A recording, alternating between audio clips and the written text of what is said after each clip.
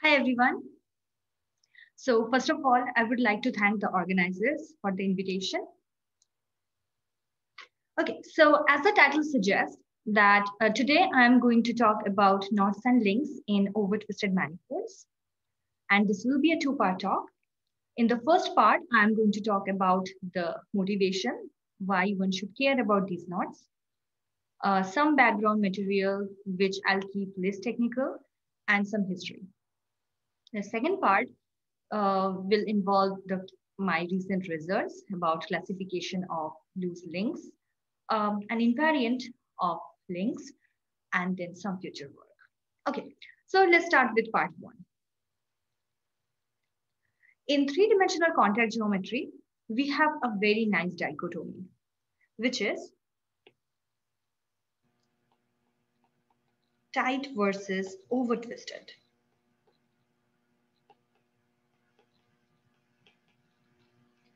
I will define these later. So if you look at this literature, you'll see that uh, tight contact structures grab a lot of attention. Tight contact structures are rare and the classification of tight contact structure is a very difficult and interesting problem in contact geometry. Uh, so the natural question that arises that what about over-twisted contact structures? Now here comes Eliashberg's classification. Uh, so Eliashberg in 89 proved this uh, very nice and important result, which tells us that over-twisted contact structures up to isotopy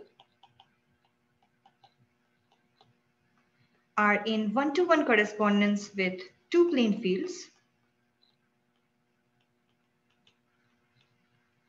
up to homotopy. So if we understand the homotopy class of two plane fields, we understand over twisted contact structures.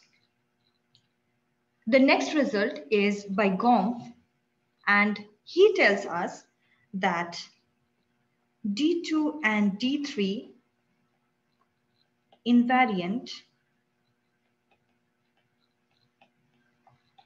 completely determines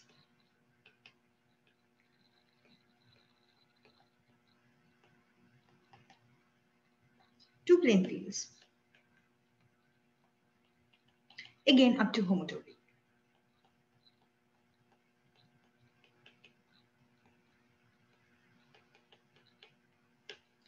Okay, um, what are D2 and D3? D2 and D3 are obstruction classes uh, so very vaguely speaking, they measures how the two plane fields are different on the two skeleton and the three skeleton of the manifold. Uh, so for example, uh, let us take S3. Now S3 doesn't have any two skeleton. That's why S3 doesn't have any D2. Uh, but D3 determines all the two plane fields on S3 up to homotopy. Okay, now if we combine Eliashberg and Gompf's result, together these tell us that D2, D3 determines over twisted contact structures up to isotopy.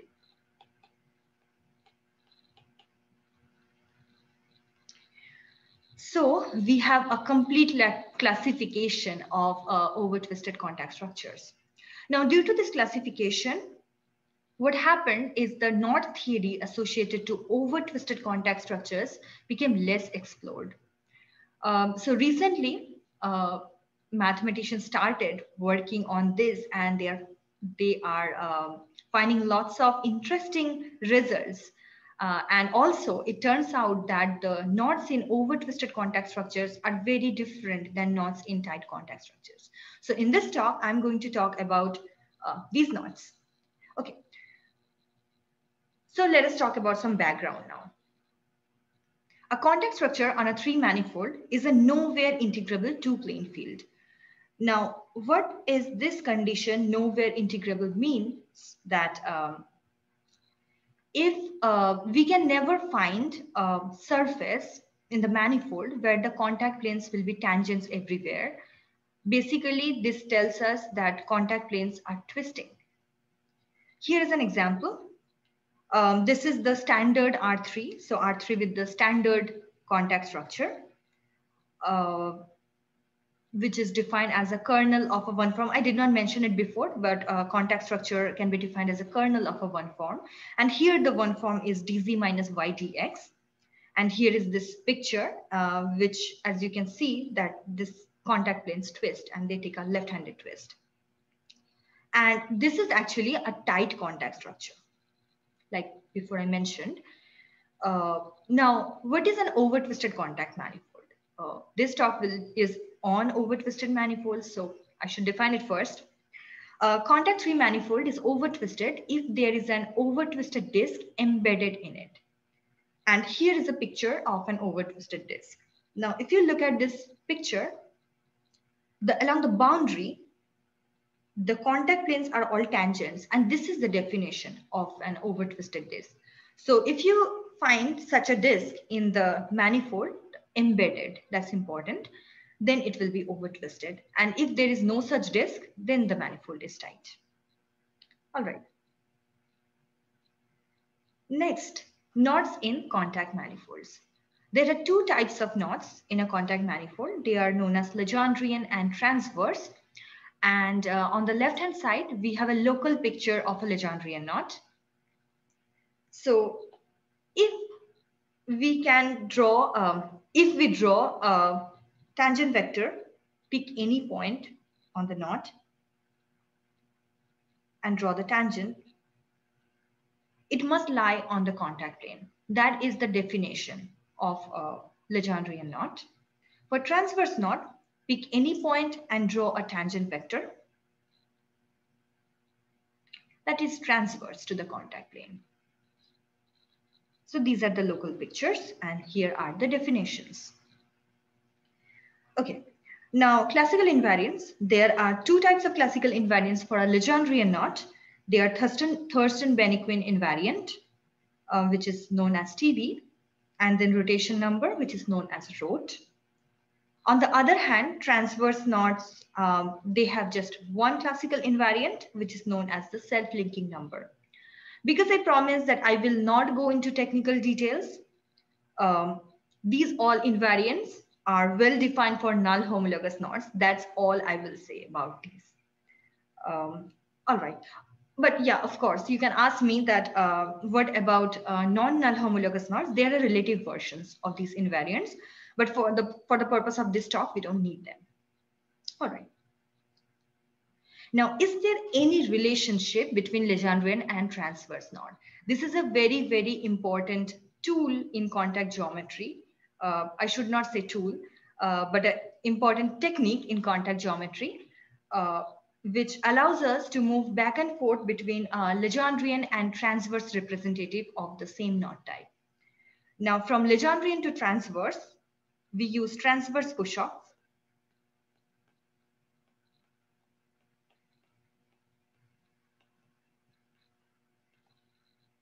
Uh, and this operation is unique.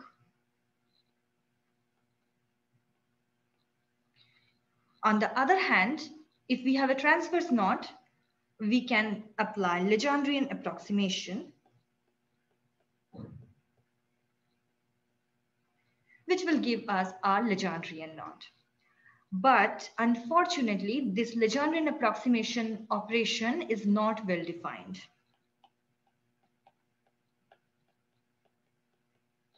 So for the same transverse knot, we can have lots of Legendrian approximation.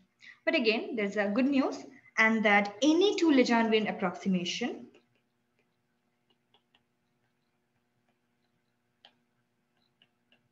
are related by something known as negative stabilization. Now, negative stabilization is a local operation on a Legendrian knot. Now, what about knots in over-twisted manifolds? So there are two types of knots in an over-twisted manifolds. Uh, they are known as loose and non-loose. Now, why there are two types of knots? Uh, let us uh, take this example. Suppose uh, we are in an over-twisted manifold and we have a knot and we remove the tubular neighborhood of the knot. Now what can happen? Um, either the complement becomes over twisted, it's still over twisted, or it can become tight. These two things can happen. And how it can happen is if the knot intersects every over twisted disc in the manifold, then by removing the tubular neighborhood of the knot, I'm also getting rid of the over twisted discs. So the manifold becomes tight. Uh, so that's why there are two types of knots. So non-loose are those knots with complement tight and loose knots complement over twisted. There are lots of ways to uh, define these two knots. One is this, that the complement is tight versus complement over twisted. We can also say that a non-loose knot is such a knot which intersects every over twisted disk in the manifold Loose knot is if there is an over twisted disc disjoint from the knot. So there are a lot of ways to think about. There are also surgery definitions like if you take a knot and do a surgery on that knot, and if that produces a tight manifold, then it will be non-loose. So a lot of ways to think about these knots. Okay. Now, how these knots are different. Like I mentioned uh, in the first slide, that uh, the knots in over twisted manifolds are different from knots in tight manifolds. Now, how they are different. The first point is the diagram. A knot theorists care about diagrams a lot, like how to draw the knots. Uh, so in tight S3, we have a nice way to draw any Legendrian representative of a knot, which is known as front diagram. So I will draw the trivial knot here. So we have our trivial knot and the front diagram for this is just adding cusps at vertical tangencies. This is how we do it. So, and there is no crossing for this knot, so we do not have to worry about those crossings. Uh, but if I want to draw in over twisted, so uh, front diagram, which is this uh, adding cusps, this works in S3 Z standard which is the tight contact structure. So what about over twisted? We do not have front diagram in over twisted contact structures. So uh, to draw in an um, over twisted S3, mathematicians come up with a nice diagram, nice way to draw that, which is known as a contact surgery diagram. And this is how we draw it. So a contact surgery diagram is basically a surgery diagram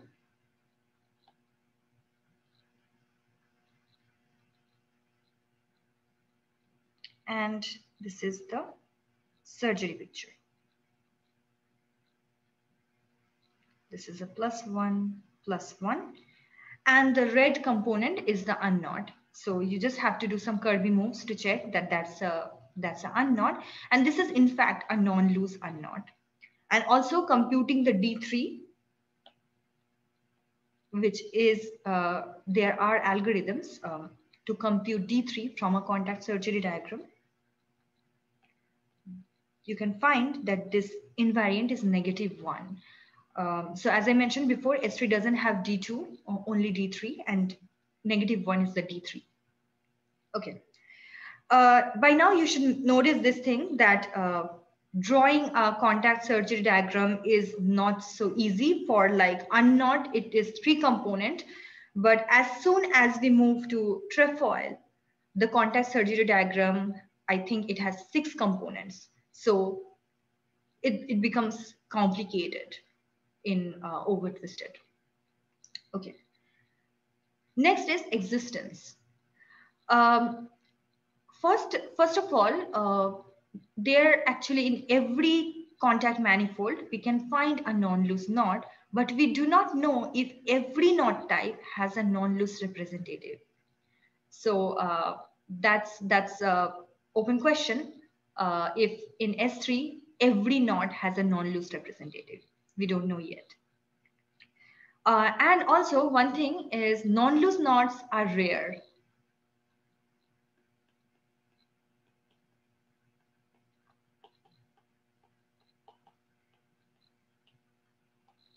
And this should not be surprising because non-loose knots are very closely related to uh, tight contact structures, right? And tight contact structures are rare. So non-loose knots should be rare as well. Here, I want to mention an interesting fact. And this is due to Eliashberg Fraser, uh, where they proved that S3Z negative 1 only contains non-loose unknots.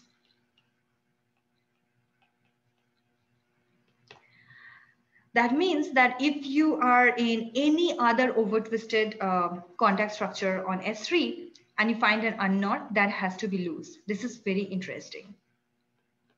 So this is due to Eliashberg Fraser. Okay. Uh, the next is classification. Um, so there are two types of classification in contact geometry. Actually, there are three types, but two of them are uh, equivalent. So Legendrian isotopy versus contactomorphism. Now, in S3 standard, which is the tight contact structure, there these two notions are the same. They are equivalent.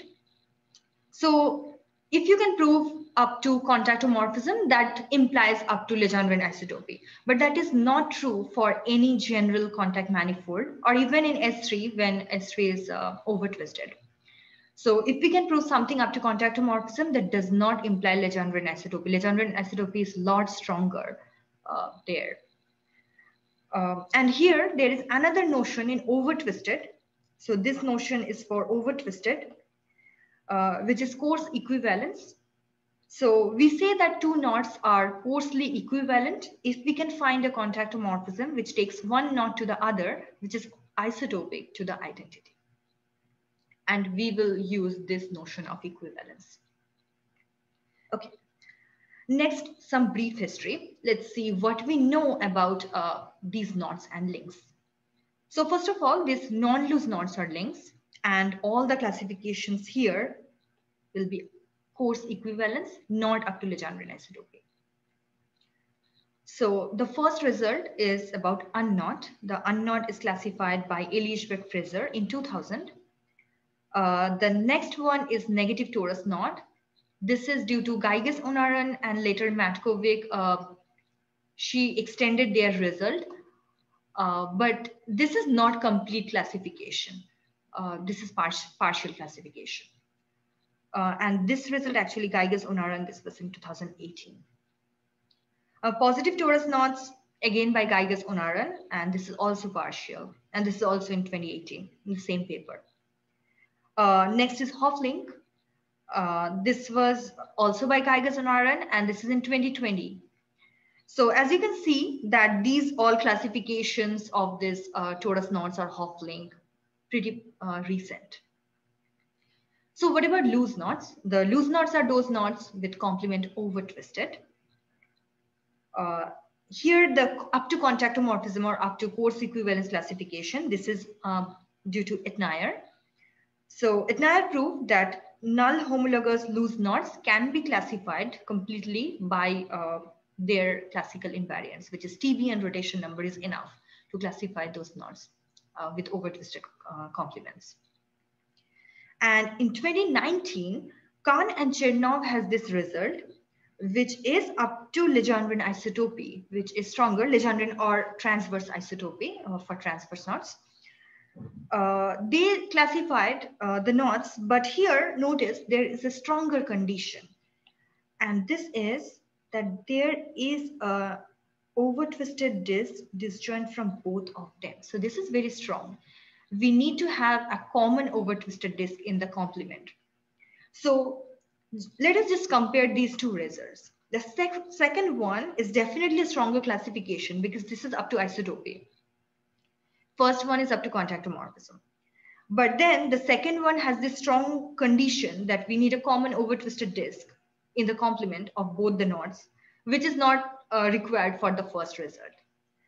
Uh, so we would really uh, like to have a result where we can uh, prove uh, isotopy classification up to isotopy when we do not need this condition, the over twisted, common over twisted disk, but that seems like a difficult problem. Okay. So the next question is, what about uh, links? What about loose links? If we increase the number of components, what happens with, with the classification? And that is what I'm going to talk about uh, in the second part of this talk. So thanks for listening.